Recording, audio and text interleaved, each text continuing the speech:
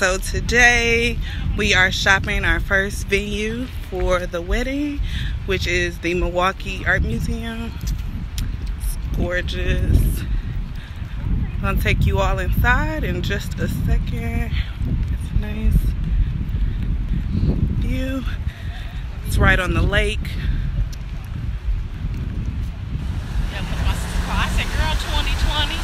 She's like, oh, thank you, Jesus. I can start losing this weight so his TT can be slim and trim. Oh my God. right. like the wedding party. Uh-huh.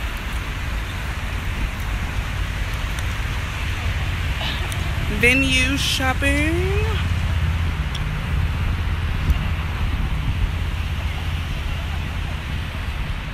Yeah. So this is the inside. As you can see the lake right there. Um, I think this is where we're gonna do everything. Did you find you some? James, do you like this? You do? Where's Marcus? He had to run back to the car to get his phone. But this is beautiful. I went over the lake. I like to stay open. It is I was fine until I had to do that little power walk. it is warm.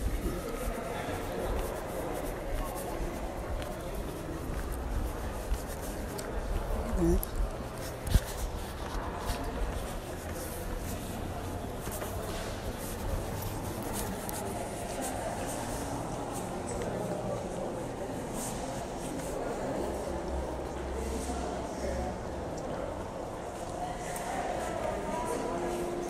So this first space for cocktail hour is called the Baumgartner Galleria. So what we have here is this long hallway. It's about the length of a football field, so we can easily fit about 150 to 200 people in here.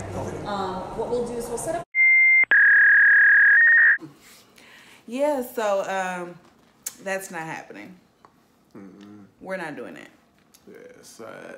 It's, it's definitely happening. It's a no for us, dog. It's not happening. Um, so after much brainstorming and some sleepless nights, we chose to go with the destination wedding.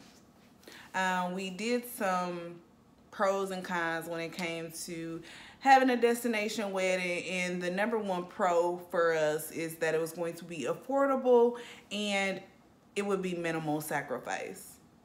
Yeah. Um, just keying in on that, really, we wanted to be able to continue to live our lives as normal. Um, you know, again, with the minimum sacrifice, you see so many people, you know, just like struggle day to day just for this one special day, and it's supposed to be something that you know you're happy about, and you know we we don't want to have any lasting effects after our day.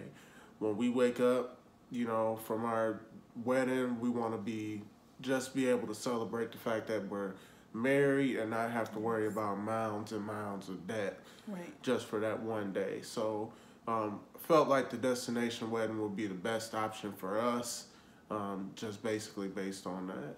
Yeah.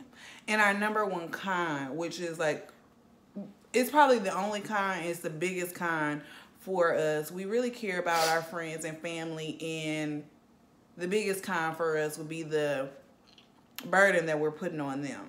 Yeah, um, feel like it's a little bit of a financial burden for you know a lot of people, and not even saying people don't have it, but you know it it's a lot to try to come up with you know at once for this. So yeah, So that was one of our toughest decisions uh, to actually go ahead and choose the destination wedding. But we definitely wanted something that we would be able to remember, um, something on the island. We've been wanting to go to Turks and Caicos for a long time. It's been on our list of things to do.